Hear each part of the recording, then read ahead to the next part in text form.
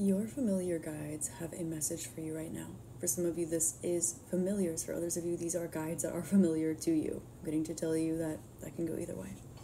But the message here is that your growth is seen and understood, and you've been evaluated for some time. And there is an understanding that you have long since unplugged from a particular grid, frequency, or vibration. However, there's this nostalgic energy about lingering in it that seems to keep you feeling in commonality with others, that seems to keep you feeling as though you have a connectivity with those in your current surroundings. My love, my dear, you're being pulled out of your current surroundings frequentially. This might be literal, it might not be literal at all, but you're feeling it. You're feeling the shift. You're meant to be really tapping in with your heart space at this time.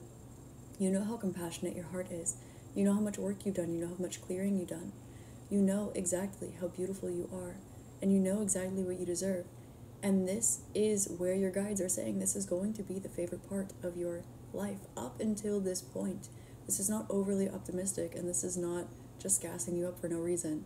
There is something here where you are very much aware of the fact that you are incredible, you are beautiful, you are revered. And because of this, you do get treated differently. You do have different things around you. I'm hearing that phrase, my dear, why do you try so hard to fit in when you were born to stand out? This is not something that you do intentionally, but they are uh, aware and understanding and empathetic, empathetic and compassionate towards the fact that sometimes it is beautiful to not always feel different all of the time. However, all of the time you are different. And this is intentional.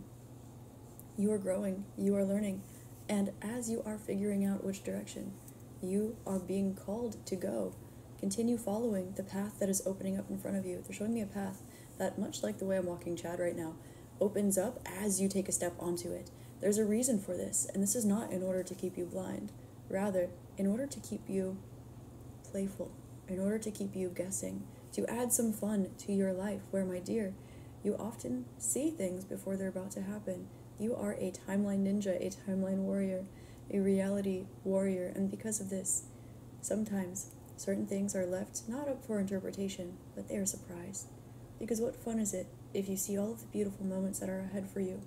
We know you like predicting the future, because sometimes you can see things occur before they're going to happen, and sometimes you can leverage a better outcome or avoid a negative outcome.